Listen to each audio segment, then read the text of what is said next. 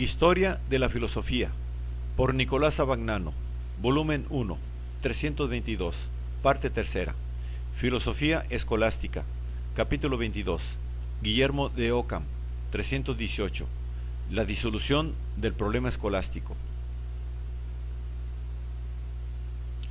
Una posición empirista tan radical y coherente debía conducir a un neto abandono del problema escolástico ya desde su planteamiento puesto que el único conocimiento posible es la experiencia, de la cual procede el mismo conocimiento abstractivo, y puesto que la única realidad cognoscible es la que nos revela la experiencia, esto es, la naturaleza, cualquier realidad que trascienda la experiencia no puede alcanzarse por camino natural y humano. Ockham afirma, en efecto, explícitamente, la heterogeneidad radical entre la ciencia y la fe se trata de actitudes que no pueden subsistir juntas, aun cuando la fe parece seguir a la ciencia, como en el caso en que se cree en una conclusión de la que se ha olvidado la demostración, no se trata verdaderamente de fe, porque se mantiene firme la conclusión sólo en cuanto se sabe que está fundada en una demostración. Pero no es este el caso de la fe religiosa, la cual podría ser demostrada solo si se tuviera un conocimiento intuitivo de Dios y de la realidad sobrenatural, conocimiento que es imposible para el hombre. Los milagros y la predicación, aunque pueden producir la fe, no pueden, de hecho, producir el conocimiento evidente de sus verdades. La evidencia no puede ir unida a la falsedad. El sarraceno puede ser convencido por los milagros y la predicación de la ley de Mahoma, que, no obstante, es falsa la conclusión de todo esto está expuesta en un pasaje de la lógica.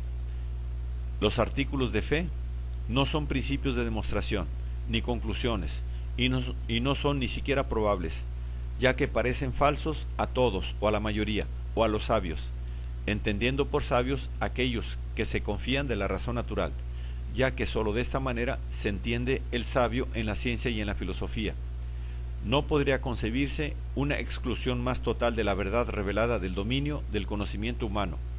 Las verdades de fe no son evidentes por sí mismas, como los principios de la demostración, no son demostrables como las conclusiones de la misma demostración, y no son probables porque pueden aparecer, como aparecen, falsas a quienes se sirven de la razón natural. El problema escolástico es declarado de este modo por Ockham insoluble, y desprovisto de todo significado. La teología cesa de ser una ciencia y se convierte en un puro acervo de nociones prácticas y especulativas, desprovistas del todo de evidencia racional y de validez empírica.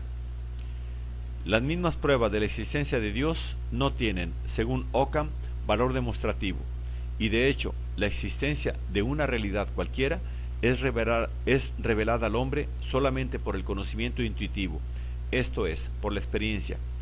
Pero el conocimiento intuitivo de Dios no es dado al hombre.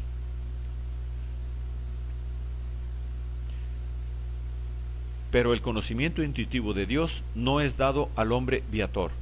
Y, puesto que la existencia y la esencia van unidas y se conoce la esencia solamente por lo que se ve, por lo que se conoce intuitivamente de la existencia, el hombre en verdad no conoce la existencia ni la esencia de Dios. La proposición Dios existe no es, por tanto, evidente. La existencia no se predica solamente de Dios, sino también de toda otra cosa real. No puede, por consiguiente, ser parte de la esencia de Dios ni serle intrínseca. La prueba ontológica es rechazada.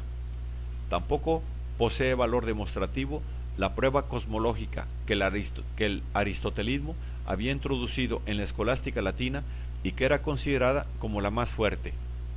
Ockham niega el valor de los dos principios en que se funda la prueba.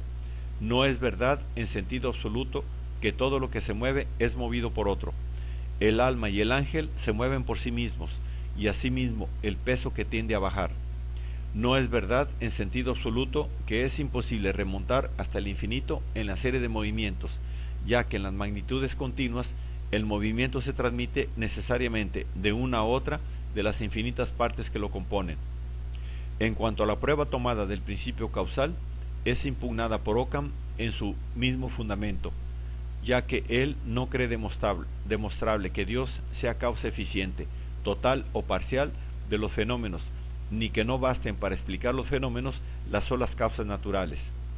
La conclusión es que tales pruebas, faltas como están de todo valor apodíctico, pueden determinar en el hombre solamente una razonable persuasión, ya que si Dios no ejerciese alguna acción en el mundo, ¿a qué fin se afirmaría? ¿A qué fin se afirmaría su existencia? La acción de Dios en el mundo es, pues, un simple postulado de la fe, desprovisto de valor racional. Tampoco se pueden demostrar los atributos fundamentales de Dios. En primer lugar, no se puede establecer con certeza que haya un único Dios. No se, no se derivaría ningún inconveniente de admitir que haya una pluralidad de causas primeras, porque, pudiendo cada una de ellas querer solo lo mejor, no se encontraría nunca en desacuerdo entre sí y gobernaría el mundo con unánime acuerdo.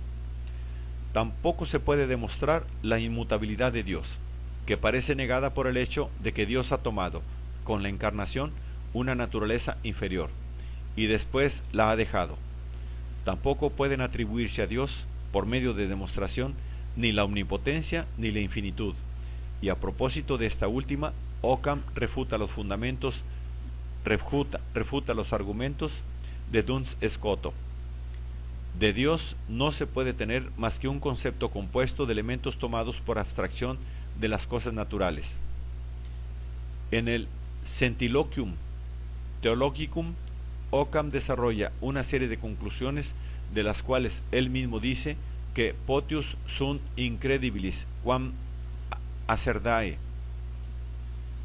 acerendae, y que por esto las expone a título de mero ejercicio lógico. Estas conclusiones constituyen una reducción al absurdo de la hipótesis de la creación, puesto que en la eternidad, como había enseñado San Agustín, no existe ni un antes ni un después. Tampoco es necesario admitir que Dios existiese antes de la creación o que existirá después. La eternidad de Dios significa solamente que Dios no tiene causa de su existencia, ni por consiguiente comienzo ni fin de su ser. Pero esto no le confiere duración más allá de los límites temporales del mundo, siendo el concepto mismo de duración extraño a su naturaleza.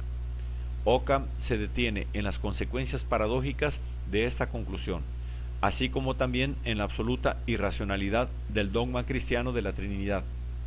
Que una esencia única, simplísima, sea tres personas realmente distintas, es cosa de la que ninguna razón natural puede persuadirse, y es afirmada solamente por la fe católica como cosa que supera todo sentido, todo entendimiento humano y casi toda razón. El, desconocimiento de la posibilidad de interpretación racional de la verdad revelada es en Ockham tan total y decidido que señala la etapa final de la escolástica. El problema escolástico, después de Ockham, continuará, de alguna manera, sobreviviendo en las escuelas, pero será la sobrevivencia de un residuo, sacado fuera del círculo vital de la filosofía, que en adelante se alimentará de otros problemas.